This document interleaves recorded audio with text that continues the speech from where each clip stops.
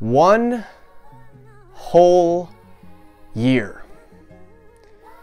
We have been ghosted by Mr. Kanye Omari West on the topic of his 10th studio album for one whole year. Finally, it seems as if we're closer than ever to actually getting an official release for this damn thing. But a lot has happened in the past months since my last Donda update video. Maybe it's wishful thinking. But once more, one last time, let's get into the complicated rollout of Kanye West's 10th studio album, Donda, the finale. So things were really slow when part two ended. Uh, Kanye was just starting to wear the mask, and while a lot of people were hopeful for a summer 2021 release, it kind of didn't seem likely. We were really dry on news. Really, the only things of note to talk about is that weird Kanye info we got where he had an interview uh, for a court hearing in which he wore his mask and then went off and said allegedly all these kind of wacky things before ending the call real soon. But because of that call and the information given by this really sketchy and really not uh, certified website, we all figured he was working on his latest album in Hawaii. KC Pluto would announce a few dates for his, uh, I believe it's his like mixtape kind of before his official album release. Uh, of course, the mixtape being called Who is KC. This, of course, is important because KC is kind of the protege during the Donda era, even though now, with hindsight, it kind of feels like it's Vory. But his album's release and even this mixtape is definitely linked to Donda's uh, official drop. So thought that was important. And of course, the date kept switching, so a lot of us really gave up hope on that one too. But shockingly, in early June, Kanye would drop his first Yeezy Gap item. On June 8th, he would officially put the blue puffer jacket up for pre-order. Kanye would be seen wearing this jacket just a week prior, and in that same photo, really the thing that made people go nuts is he was wearing Nikes. On that day, the term West Day Ever would really be thrown around by everyone in Kanye's camp, including his manager. Boo also added that the album was on the way, but I mean, in the amount of times that us Kanye fans have heard sooner, uh, throughout this whole timeline, we really just took that as whatever. But then there were some of us who actually watched that really dumb live stream to promote the jacket, and I think the less said about that, the better. But after actually releasing a Yeezy Gap product, Kanye is starting to be seen more and more in public. And of course, he's sporting that mask. And then, of course, you have the rumors about his dating life and stuff, and I don't really get into that on this channel. I don't think it's that important or that drawn into the music unless it actually has a specific uh, call to in a lyric or something. My personal favorite Kanye sighting is recently when he went to Paris Fashion Week. You have all these people dressed to the nines in these suits and the, the females are in these nice dresses and then you just see Kanye in this giant black jacket with this black mask on looking straight up like a Batman supervillain. It's awesome. Not only would he visit Paris, but just a few weeks after would be seen attending a Big Three basketball tournament with Ice Cube. Kanye would drop the black puffer jacket that he was seen wearing uh, over in Paris on July 12th, and this would only be in countries such as Japan, Australia, England, stuff like that, not available in the US just yet. Kanye would pop up on Pop Smoke's second posthumous album, Faith, being featured on the third track, Tell the Vision. Now this is pretty interesting that the song appears on this record because this is a track that was seen on earlier track lists for Donda back last summer. While the instrumental is believed to be reworked a little bit, and of course we never did get an official Kanye verse, maybe we will on the deluxe edition, it's still interesting that, you know, an earlier Donda song appeared on this record. The track, which also featured Pusha T, would go number one on Apple Music. Kanye would really be seen a lot in San Francisco, and while it seemed to be just another random event, a few interesting things would happen. Syleena Johnson, who famously was on Kanye's All Falls Down track off his first record, The College Dropout, would meet up with Kanye in San Francisco. Kanye also would meet up with Tyler the Creator, but this time this meetup would be a little more public, with Cons taking a video of this meeting. Kanye was playing uh, The Life of the Party for Tyler, and I'd imagine more songs, of course. And in that shot, you could see a whiteboard, and it's names of many tracks expected to be on Donda. This would all happen on July 17th, and while a lot of those tracks are unknown and obviously new additions to a very changed album from last August's record, the tracks we would know that are listed on that whiteboard would be Hurricane, 24, Donda, and I Know God Breathed on This. The caption of the post would read Summer 21. Later that night, someone on the West Sub Ever subreddit would discover that in Atlanta for the Mercedes-Benz Stadium, an event was created titled Rap Artists Pop-Up Event or Listening Party. The event was set for Thursday, July 22nd. People would start to kind of talk about who this could be, and we kind of narrowed it down to either Drake or Kanye. Then, the Instagram account Donda's Place would post a screenshot of a private invitation to a listening party. The event would be set for July 18th, and the invitation would read this Kanye West is hosting a private album launch party. Really can't get more specific than that. The event would be confirmed by a church LV pastor on a Sunday sermon. It's, it's the first drop of what the new album is going to be like. Let me tell you how significant this is. The next, the next place they're going to do it is at Mercedes-Benz Stadium. Justin LaBoy, who is someone who was pictured with Kanye on the 17th, would tweet out that he had heard Kanye's upcoming record fully. He said that he was really impressed and that it almost sounded like Kanye was hungry. He was rapping so well. And while we'll talk about this Justin man a lot more later on, the private listening event in Las Vegas will give us a lot of interesting information.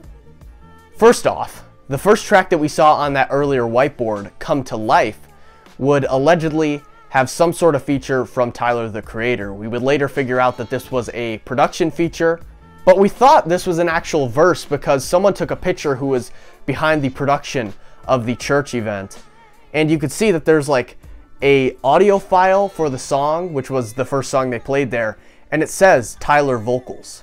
So a very, very, very big shout out to Jabba. He is someone who went to this event and gave us uh, a report of what he heard. He didn't write everything down. It's not all exact, but this is really interesting. And uh, I honestly find these videos to be like a time capsule of all the news we got. That's going to be really fun to look back on. So let's just see the information he gave us. So first off, he reported that Travis Scott, Post Malone, Playboi Carti, Lil Baby, and Casey Pluto were the featured artists. Post Malone, of course, would not be featured. It was actually Vory, but their voices are kind of similar, so of course he gets a pass on that. He also kind of misinterpreted Playboi Carti for Baby Keem, but we'll talk about that in a second. So the tracks played at this event were Come to Life, featuring Tyler the Creator. Now, that of course could be just production, but we'll see.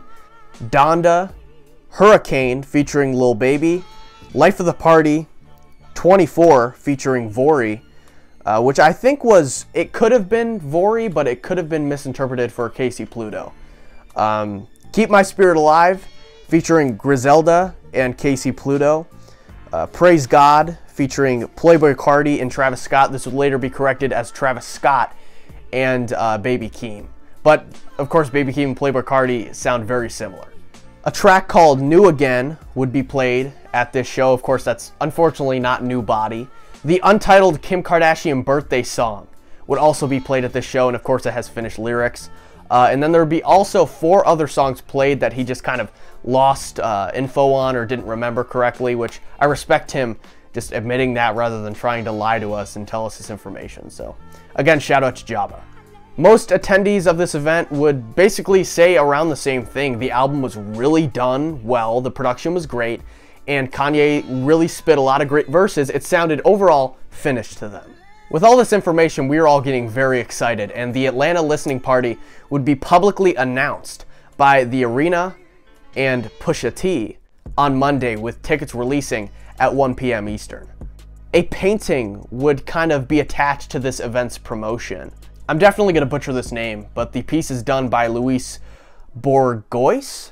She is a female artist who lost her mother at a young age, and in order to cope with the loss of her uh, parent, she basically painted these pieces that Kanye, of course, could relate to because the album's concepts, and of course, uh, he lost his mother as well, so we kind of vibed with the painting. And at first, we thought this was the album cover. Kanye, without ever saying a word officially, would sell out Mercedes Benz Stadium.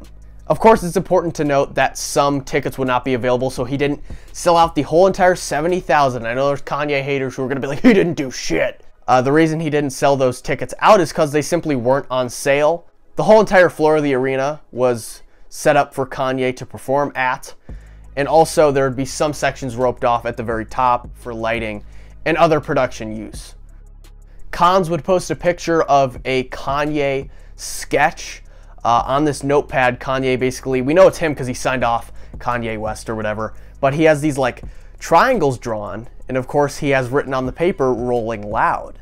The post would be taken down very quickly, and the Donda experience would never happen as Kanye would cancel it later on. As Tuesday came around, Kanye would make his official return to Instagram, posting some pretty neat pictures. Later that day, a song off of Kanye's new record, officially announced as Donda, uh, titled No Child Left Behind, would be the score in a Beats ad. The ad would feature Olympic athlete Sha'Carri Richardson, and in the ad, it would officially be announced that the Atlanta listening party would be live streamed on Apple Music. As Thursday inched closer, fans would get more excited for this event. Kanye would post himself in the Mercedes Benz Stadium, and we would see various clips and photos of him in the studio with Mike Dean and Playboi Carti, and even with Rick Rubin. Another track list would be seen on the day of the event, with Kanye looking very buff. But as the show officially began, some interesting things would occur. Kanye, of course, was late, and the live stream was set to start at 8 p.m. Eastern.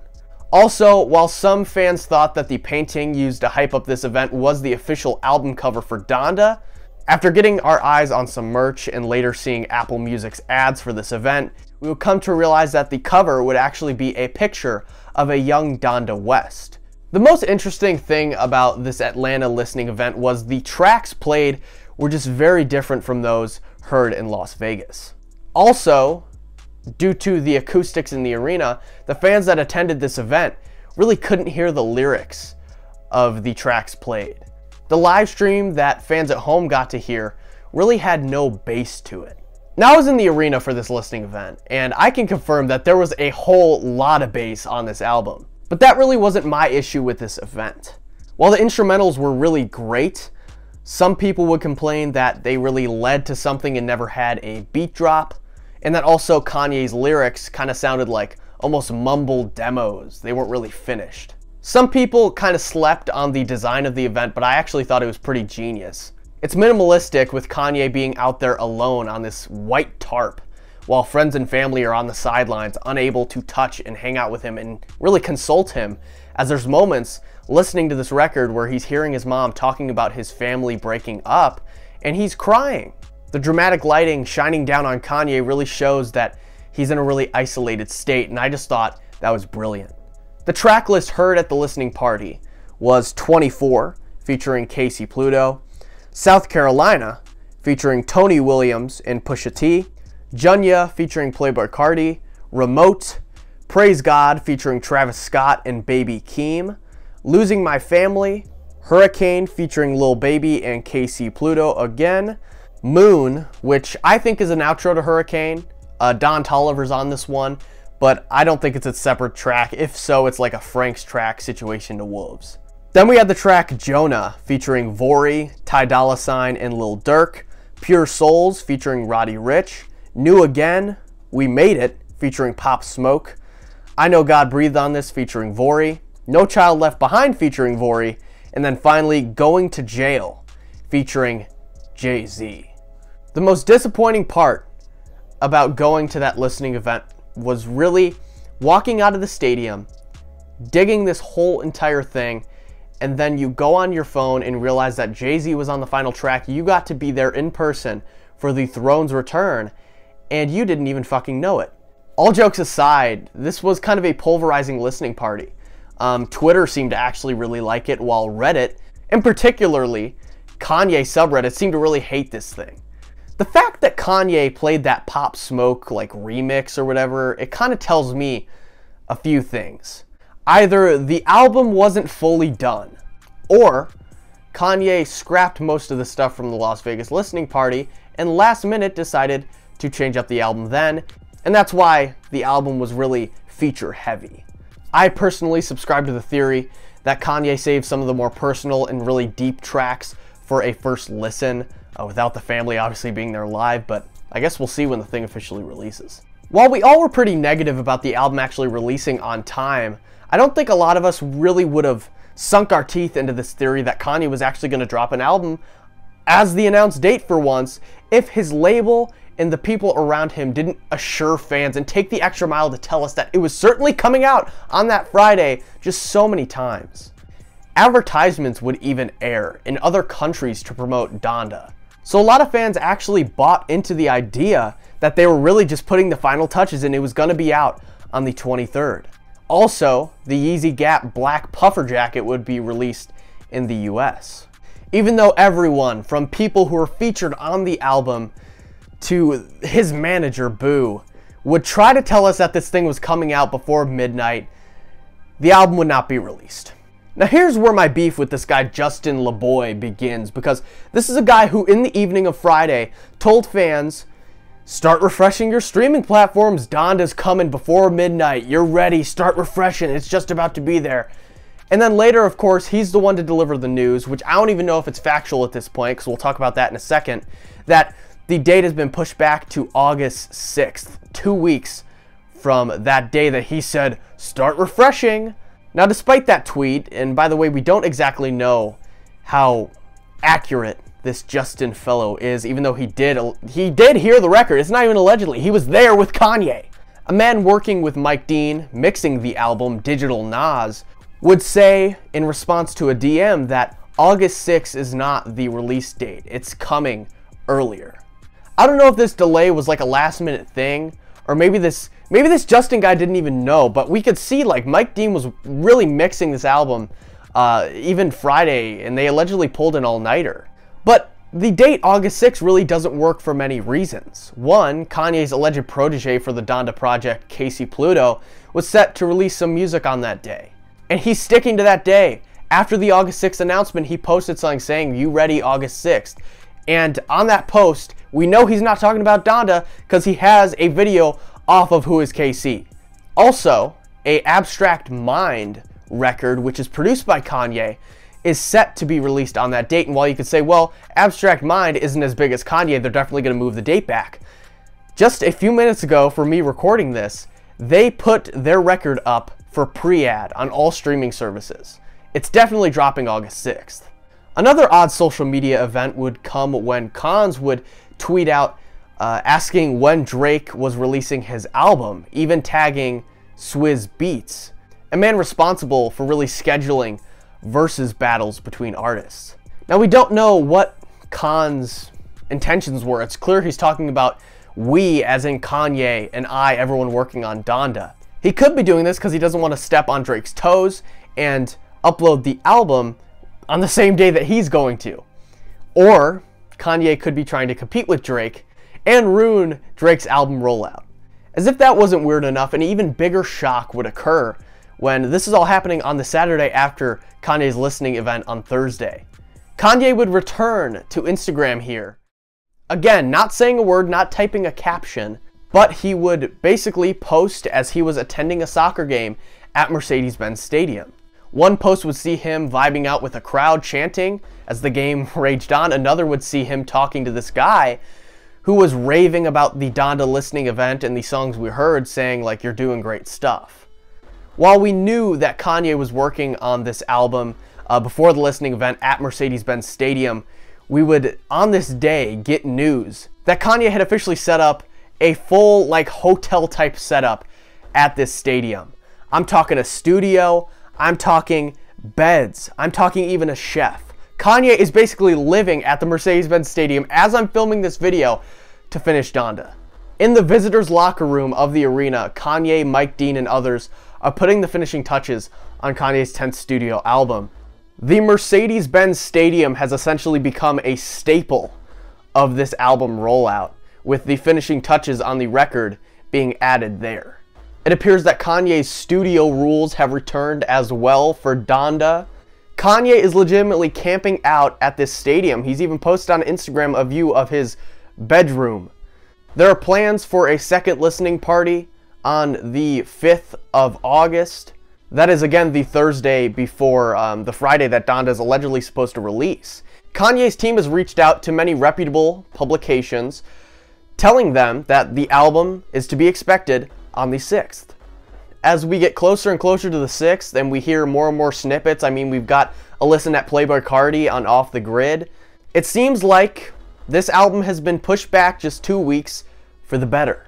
We shall see how Donda evolves even more as we inch closer and closer to Thursday and midnight for hopefully a smooth album release.